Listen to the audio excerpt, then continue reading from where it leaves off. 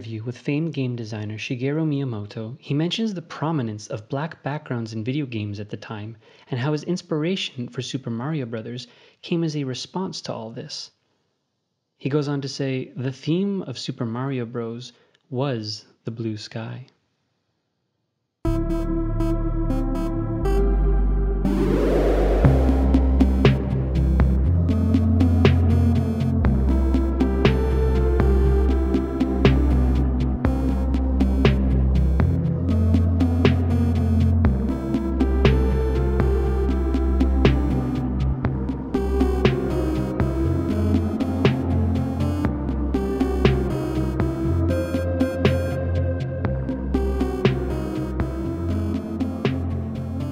Super Mario Clouds is a new media art piece by American artist Cory Arcangel, which he describes as an old Super Mario Bros. cartridge, which modified to erase everything but the clouds.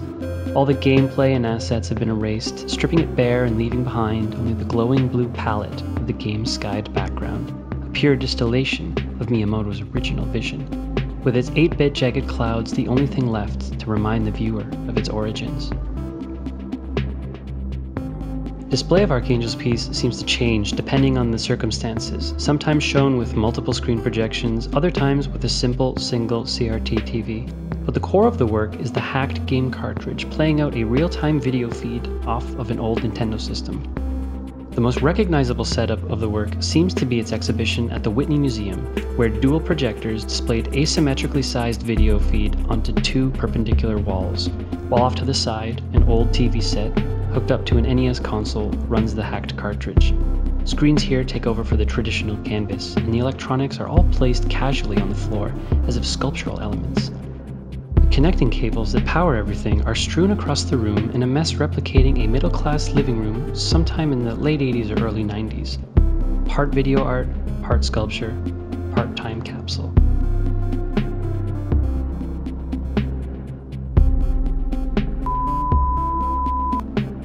In multiple interviews, Arcangel mentions his fascination with things, with cultural artifacts. All this digital plastic ephemera faded to be forgotten now that we have the ability to churn it out at a rapid rate. We manufacture ourselves into the future and make our past obsolete, finding ourselves standing atop mounds of late capitalist debris rather than critiquing or satirizing this environment. Arcangel seems to prefer to dig up and expose what's underneath. Whether it be physical objects or cultural signifiers, he enjoys playing the part of a historian or archaeologist, preserving things for future contemplation while playing with their given contexts within the same moment.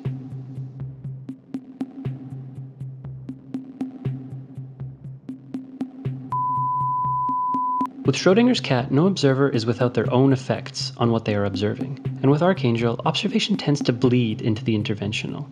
Digging up new old things, he takes it a step further and starts to wonder at the inherent qualities within the objects, using his art practice to curate and manipulate them into new points of view.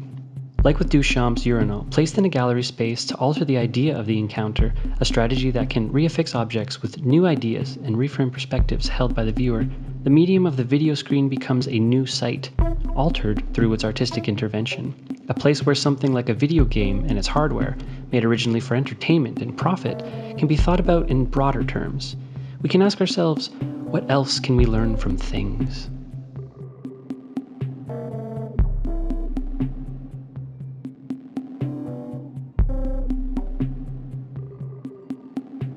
Arcangel takes his raw material from Miyamoto's game, but the mechanics that he codes into the work has its genetic copy in the history of conceptual art, adding his name alongside Nam June Paik and Robert Rauschenberg, two other artists equally fascinated by the crossroads of image, media, and concept.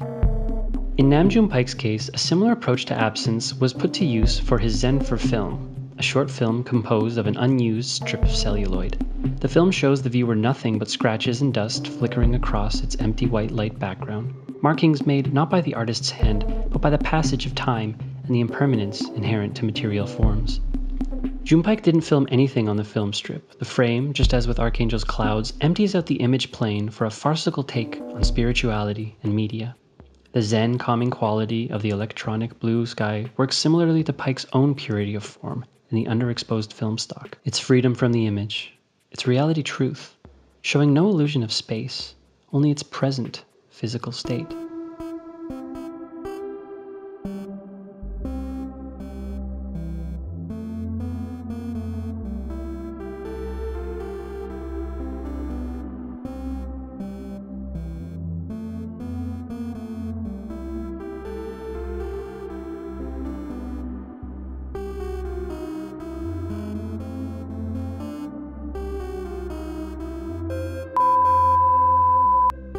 Rauschenberg's Erase de Kooning, a conceptual drawing consisting of the action of erasure, sees a drawing of charcoal, oil paint, pencil, and crayon by established painter William de Kooning erased with great effort by the young artist. In an anecdote about the work, Rauschenberg tells us that after explaining the idea to the skeptical de Kooning, the artist went flipping through his collections of drawings, finally choosing one for the younger artist to use with the challenge These are the drawings I would miss. Now I'm going to give you one really hard to erase.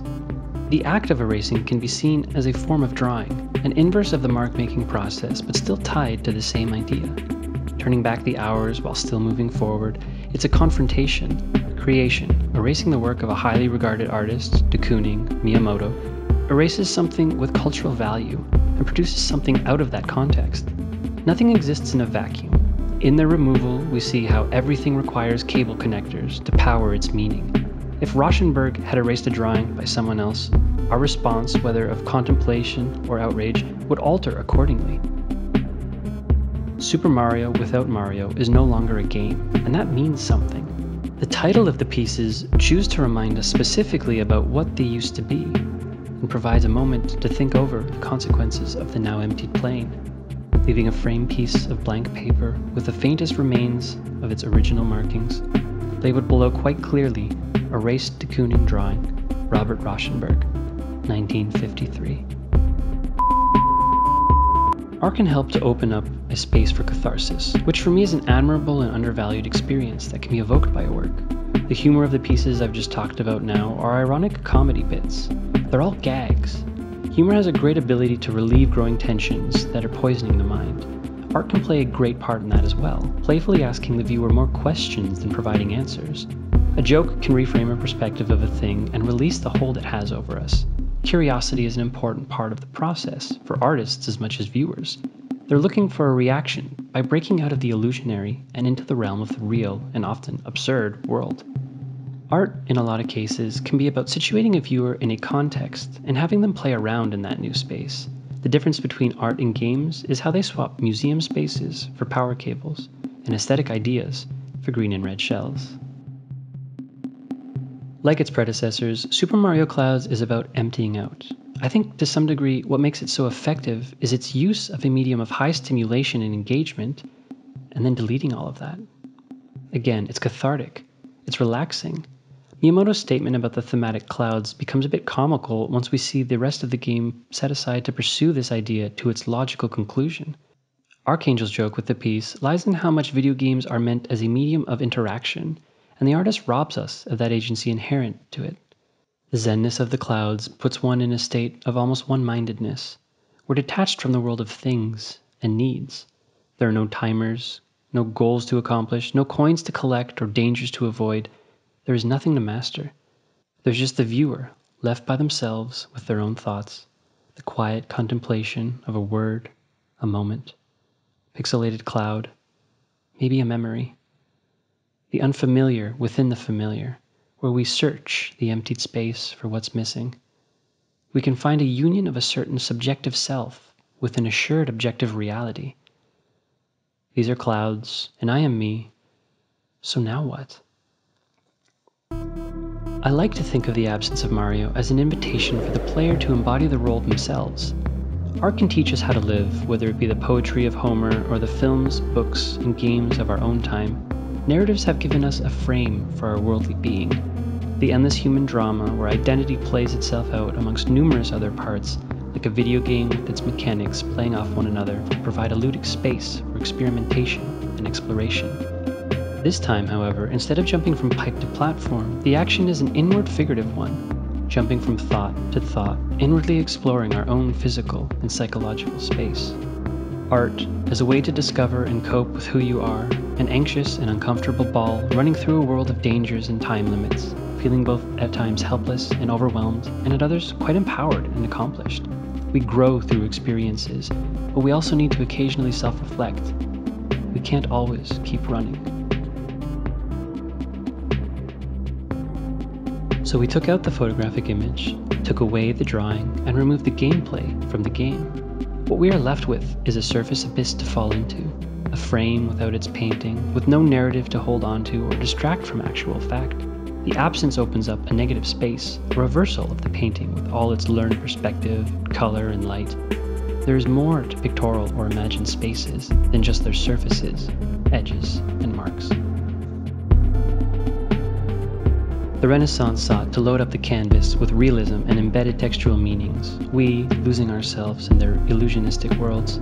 They became dense webs of meaning and instruction, as well as witnesses to the glory of creation or higher religious reality beyond our own physical world, like the invisible code stored up in small microchips, giving rules that define Mario's world, providing him with meaning and purpose. With technique began the obsession with realism, beauty, and narrative life. We've got to learn that emptiness has its own currency, even if made invisible, like so many erased 8 bit coins. Nintendo put together its original entertainment system with the idea of cornering the market on the nascent media of home gaming. The work of designers and programmers was an equal feat of ingenuity and skill, crafting smooth running fantasy worlds around some shocking technical limitations. After all, Super Mario Bros. fits its entire game, from graphics to sound to gameplay, level maps, intro screens, and animations, all within a meager 31 kilobytes. In its own way, the clever tricks used, like palette swapping assets or limiting the player's ability to turn around, an action which would take up too much space in memory if it were permitted, echoes the design philosophy of what Arcangel would later pull out with his hack do more with less. We are always being steeped in content and context in the information age. Data rains down on us like storm clouds. Here, a hacked cartridge allows us to break with this input without avoiding it. It actively pushes us out in order to empty out our registries. It can sometimes be taxing on the system to have all that data stored up in memory. Stepping back to observe the reality that we occupy as it flashes by our screens, to see the objects that surround us, to ask ourselves what they mean and what we mean to ourselves, Unlike Mario, we are able to turn back, to contemplate, to understand. We ask ourselves questions like why, and marvel at the what that's all around us.